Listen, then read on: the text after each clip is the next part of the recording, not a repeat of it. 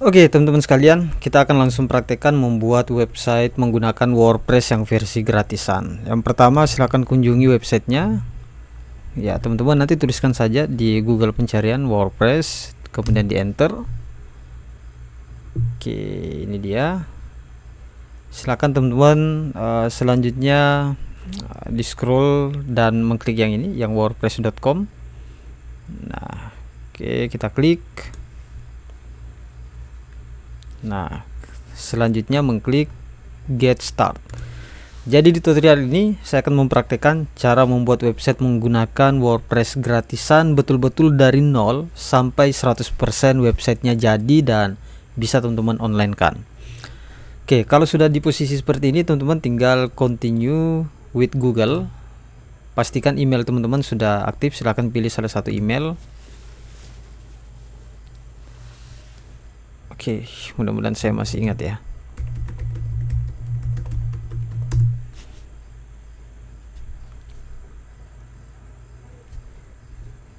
Oke.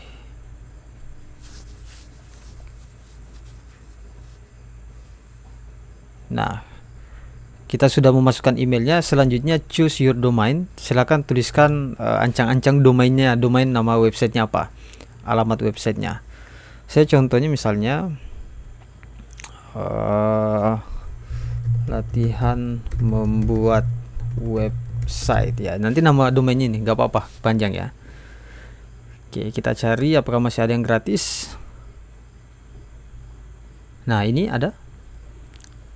Ya jadi nanti nama domainnya seperti ini. Jadi nanti nama domainnya seperti ini latihan membuat website 5.wordpress.com dan ini free. Sudah nggak apa-apa yang penting dia free. Sudah terselect dan perhatikan di sebelah sini. Nah your domain latihan membuat website 5 wordpress.com free. Tinggal kita mengklik continue. Saya klik continue. Saya membuat tutorial ini lagi karena ternyata uh, banyak yang komentar di YouTube channel ini. Katanya sudah tidak ada versi gratisnya. Oke kita buktikan sekarang. Ternyata masih ada memang di tampilan ini ada beberapa tawaran paket harga di WordPress ini tapi di sini masih ada nih yang versi free. Nah ini nol. Tinggal kita mengklik start with free.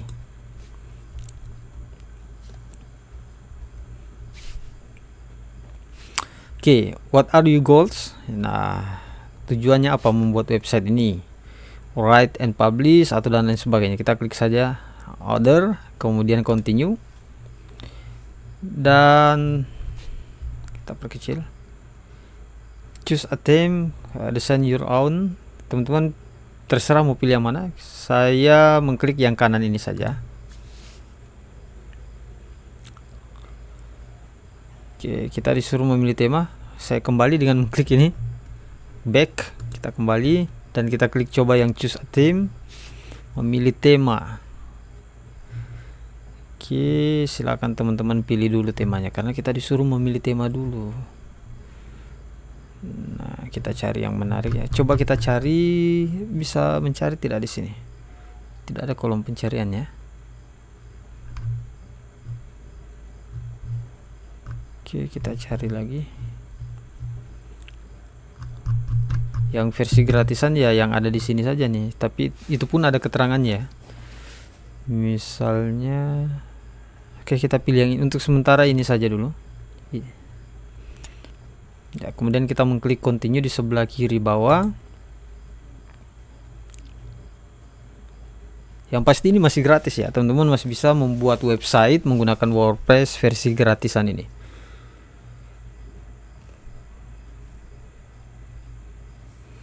Oke ditunggu sampai selesai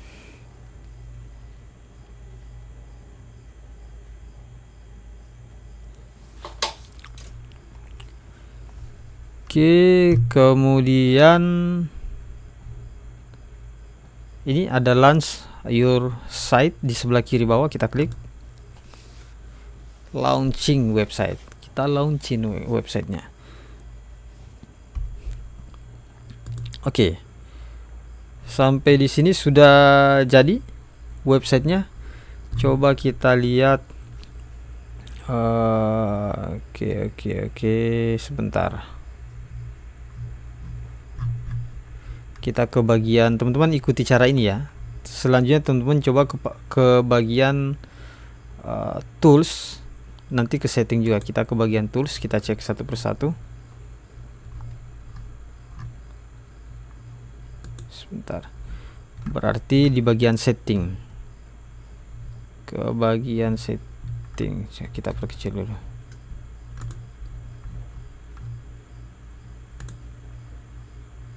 nah ini di bawah ada setting. Ya kita buat nama situsnya tadi. Ini setting ya setting. Di bagian menu setting ada di sebelah sini. Tadi namanya adalah belajar membuat website. Tagline nya boleh uh, belajar Oke, kita scroll ke bawah. Nah, ini language-nya bahasanya, uh, waktunya, privacy, public. Oke, kita scroll lagi. Ketika sudah, kita klik save setting sebelah sini. Oke, settingannya sudah kita simpan. Terus coba kita klik yang ini. Nah. Seperti ini nanti tampilannya. Dan mana tadi nama websitenya kita akan coba mengunjungi websitenya saya buka tab baru kemudian enter Nah, nanti seperti ini tampilan halaman utamanya dan kita akan langsung setting sesuai dengan keinginan kita. Caranya kita ke sini dan uh, coba kita ke apa ya? Ini appearance di sebelah kiri. Sebelah kiri ada appearance, kita ke themes coba kita ganti tema. Yang gratisan ini bisa mengganti tema tidak sesuai dengan keinginan kita. Nah kita cari news. Kita cari news. Tema news ada nggak?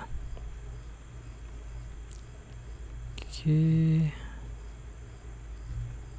Sepertinya ada tapi berbayar ya. Yang ada tulisan upgrade ini berbayar. Atau di sini bisa install new theme coba install Oke, ternyata yang versi gratisan kita tidak bisa menginstal tema yang kita download. Berarti kita gunakan yang ini saja. Selanjutnya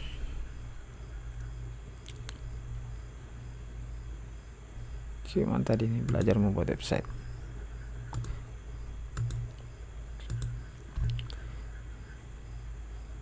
Kita kembali ke dashboard, kita cari tema yang lainnya karena ini uh, kurang sesuai dengan keinginan kita. Misalnya kita ke bagian appearance kemudian theme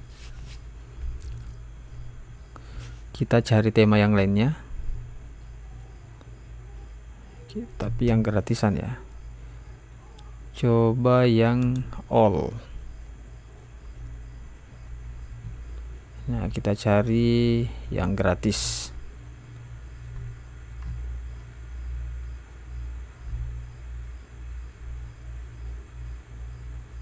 coba yang ini kita klik. Nanti previewnya seperti ini. Oke kita kembali lagi. Kita cari tema yang menarik ya. Yang menarik tapi gratis. Belum belum dapat. Ya maklumlah kita menggunakan WordPress gratisan. Semua serba terbatas tapi nanti teman-teman ikuti saja saya akan setting sampai website ini betul-betul jadi dan bisa online. Tapi kita cari dulu temanya.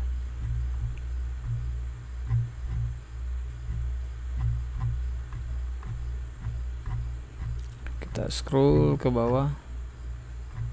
Ini berbayar banyak. Sebagian besar berbayar tapi nggak apa-apa kita scroll. Jangan sampai ada yang keren tapi gratis ya. Belum belum dapat scroll lagi. Kalau ada tulisan upgrade ini ya mesti berbayar. Bayangkan harga temanya saja. Satu jutaan ya jutaan ini. Mahal memang website teman-teman. Tapi kalau mau yang gratisan ya bisa. Tapi teman-teman harus sabar. Kita scroll. Nah bagian sini sudah mulai banyak yang gratis nih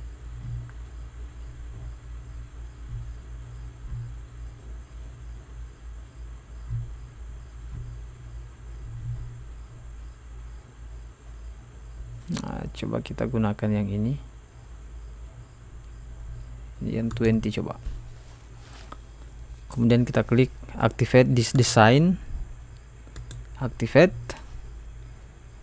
Kemudian klik lagi activate this design. Kemudian kita customize. Oke. Nanti teman-teman bisa mencari tema ini juga supaya bisa langsung praktek dan tampilannya sama ya. Tadi tema 20 ya. Oke ya tampilan defaultnya seperti ini. Kita akan edit. Yang pertama judul sudah oke. Nah di bagian atas ini ada menu. Kita ganti menunya dulu. Mengklik sebelah kiri ada tulisan menu. Kemudian mengklik uh, create new menu. Nah kita kasih nama di bagian menu name namanya menu. Kemudian next.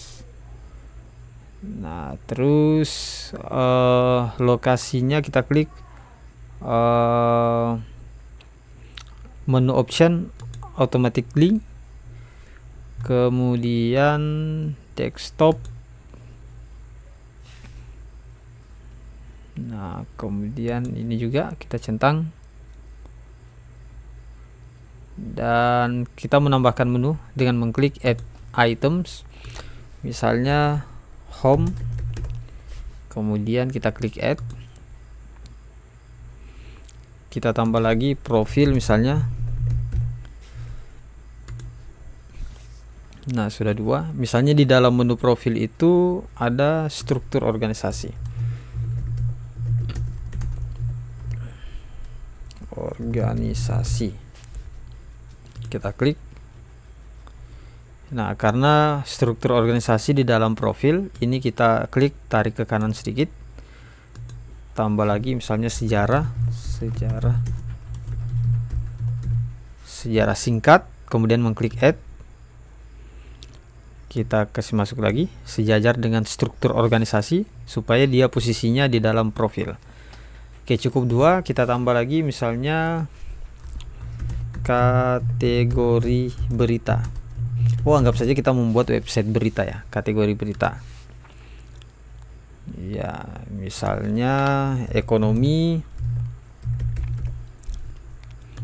Ekonomi terus olahraga kesenian ekonomi, olahraga, kesenian, sosial. Nah, cukup empat kategori beritanya. Nah, karena keempat ini berada di dalam menu kategori berita, maka kita tarik ke dalam seperti yang di atas supaya posisinya menjadi sub menu. Kita tambah satu menu lagi. Misalnya galeri. Kemudian mengklik add. Oke. Jangan lupa untuk mengklik save change sebelah kiri atas ini ada tulisan save change. Kita klik. Oke, tunggu sampai selesai. Nah, teman-teman bisa lihat di bagian sini sudah ada beberapa menu, ada home, profil, ada dua, struktur organisasi, sejarah singkat, kemudian kategori berita, ekonomi, olahraga, kesenian, sosial. Nanti kita akan isi semua ini kita akan coba mengisi. Kemudian ada galeri.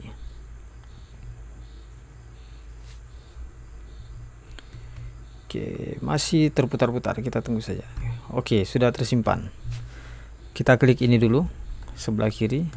Kita keluar. Kita coba mengganti yang tampilan ini tapi kita menuju ke bagian uh, homepage nah ini dia. Di sebelah kiri ada tulisan homepage paling bawah. Satu sebelum paling bawah ya homepage kita klik. Dan kita pilih uh, yang ini ya teman-teman. Saya perbesar sedikit. Di bagian your homepage display kita memilih kita memilih yang uh, static page. Kemudian homepage-nya uh, belum kita buat. Homepage-nya nanti kita buatkan.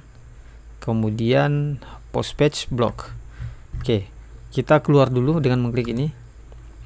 Kita akan membuat homepage klik lagi uh, back to dashboard.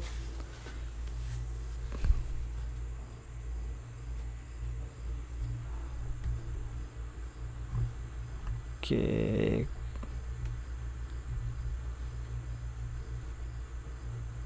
Kita pilih Oke, okay, customize dulu ya. Sorry, kita kembali ke customize, kita klik lagi customize. Nah, kita site identity sudah, theme option. Nah, ini kalau misalnya teman-teman mau munculkan tinggal diklik saja. Kita coba buka semua dulu. Nah, summary terus kita keluar lagi color template oke okay, font oke okay, background image ketika ada silahkan dimasukkan. Menu sudah. Content option. Display date. Oke okay, fitur display. Oke okay, ini sudah sudah. Oke okay, semua. Widgetnya. Footer. Kemudian homepage setting. Coba kita klik ini. Oke okay. Nah ini nanti kita hapus dulu semua postingan-postingan ini supaya dia bersih.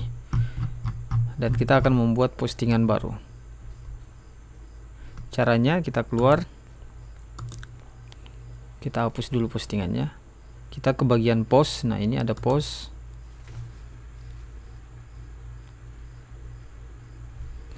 nah semua postingan ini kita hapus. Trust semuanya kita hapus dulu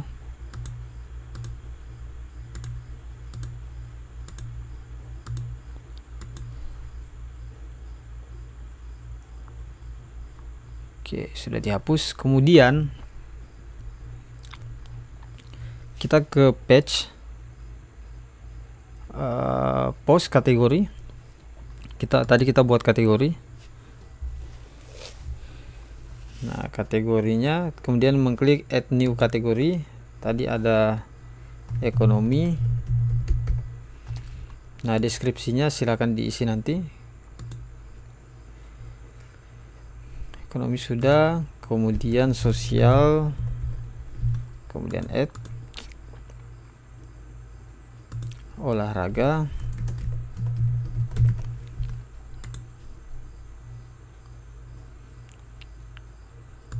kemudian kesenian kesenian. Kemudian app. Coba kita tes lihat dulu tampilan terkininya seperti apa.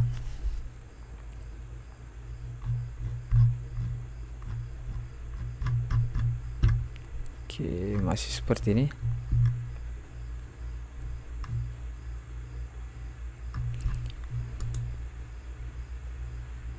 Nah, sudah ada empat kategori. Kita diamkan dulu ini.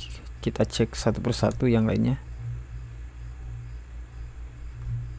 Oke, sudah ada semua. Post. Coba kita hapus semua ini dulu. Delete permanen.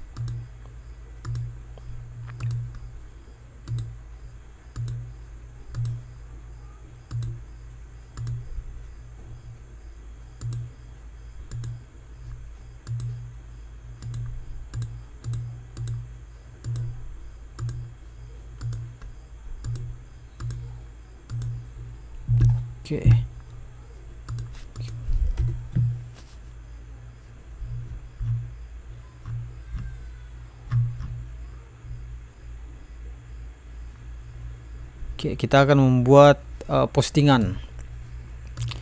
Selanjutnya kita buat postingan sesuai dengan kategori yang kita buat. Cara membuatnya adalah ke bagian post, kemudian add new post. Kita akan coba-coba membuat postingan.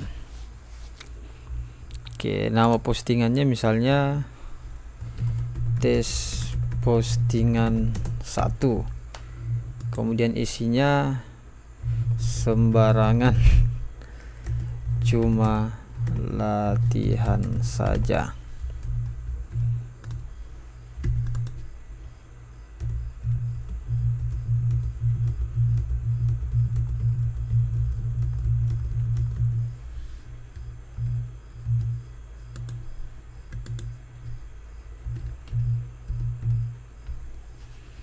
Oke, misalnya seperti ini. Ketika ada gambar yang ingin ditambahkan bisa tinggal mengklik yang ini, kemudian memilih image, uh, upload. Contohnya, oke, sudah sudah memasukkan gambar dan jangan lupa memperhatikan di sebelah kanan. Nah, kita cek satu persatu ya kemudian akses oke okay. Export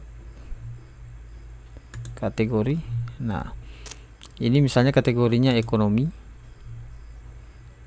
Kemudian teks kita scroll.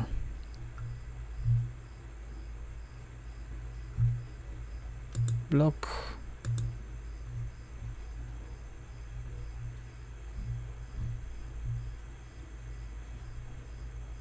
Oke, kalau sudah tinggal mengklik publish. Kemudian kita klik lagi publish.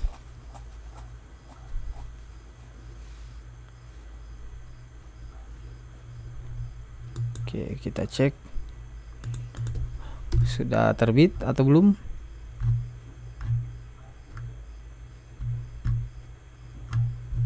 Ntar kita refresh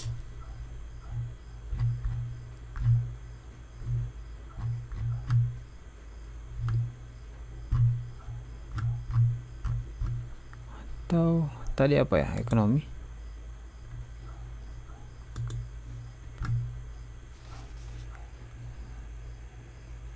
Di mana nih coba kita cek.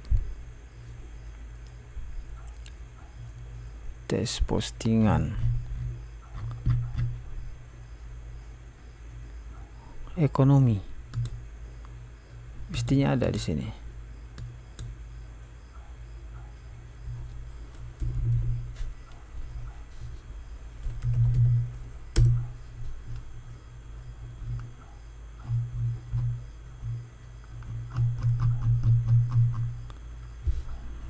muncul ya.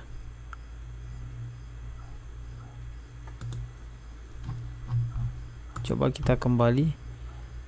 Kita cek satu persatu sampai kita temukan apa masalahnya. Tadi appearance kemudian customize. Kemudian homepage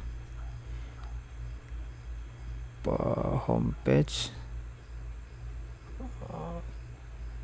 Oke, coba kita last post. Diganti ke oh, postingan. Karena tadi itu kita menggunakan yang statik sementara belum memunculkan postingannya. Oke, kemudian postingannya kita letakkan di uh, mana nih? Hmm di bagian postingan. About blog mesti kita menggunakan home di sini ya. Sebentar.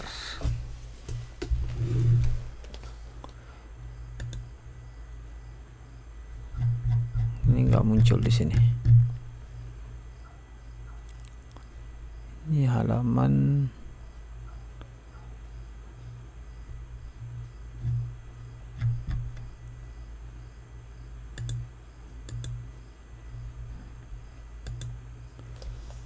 blog gak muncul di sini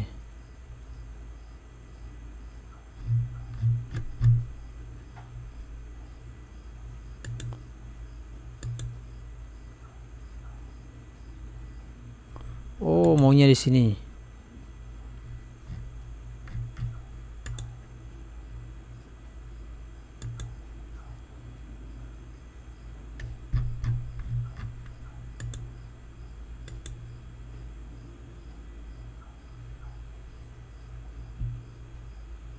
Oke, kalau yang gratisan ya seperti ini nih. Dia mau kalau kita menggunakan uh, ini di bagian homepage display. Coba kita save dulu dan kita refresh pasti yang muncul postingan. Ya, tampilannya seperti ini. Tapi sudah ada satu ekonomi. Ini kalau mau disesuaikan dengan ini berarti harus kita rubah di sini posisinya nih. Kita close dulu kemudian appearance terus customize. Kemudian menu. Nah klik ini nah ini menu-menunya ada ekonomi olahraga. Ini sebenarnya harus kita ganti dengan kategori. Nah mestinya saya masukkan dulu semua. Sosial olahraga kesenian ekonomi sosial olahraga kesenian. Ini kita hapus dulu yang di atas. Nah galeri kita turunkan ke bawah dan ini kita geser ke sini sini sini sini. Kita save change berita tadi itu kan di ekonomi saya akan coba. Sebentar masih proses simpan. Ya, sudah 27 menit kita Oke yang pasti teman-teman dapat informasi bahwa website uh, gratisan menggunakan WordPress masih bisa. Soal tampilan itu soal imaj imajinasi kreativitas nanti teman-teman bisa ulik sendiri deh. Oke coba saya refresh yang ini. Dan kita ke berita klik ekonomi pasti kembali ke sini. Nah berarti sudah betul Oke sampai di sini dulu nanti teman-teman coba sendiri. Yang pasti saya mencoba membuat website dari nol dan menu-menunya sudah ada, postingannya juga sudah ada. Nah ini link websitenya, nah domainnya maksudnya. Ya latihan membuat website 5 wordpress.com. Kalau kita buka di browser yang lainnya, nah jadi satu postingan. Oke, silahkan mencoba teman-teman sekalian. Mohon maaf kalau seadanya saja. Yang penting teman-teman ketika mengikuti cara ini bisa membuat dengan WordPress gratisan, bisa membuat menu-menu, ganti tema.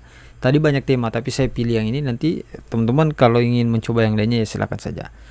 Terima kasih. Assalamualaikum warahmatullahi wabarakatuh.